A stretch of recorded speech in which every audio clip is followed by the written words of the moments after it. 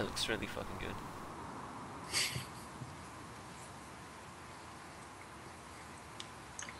Yeah, I think that's enough recording.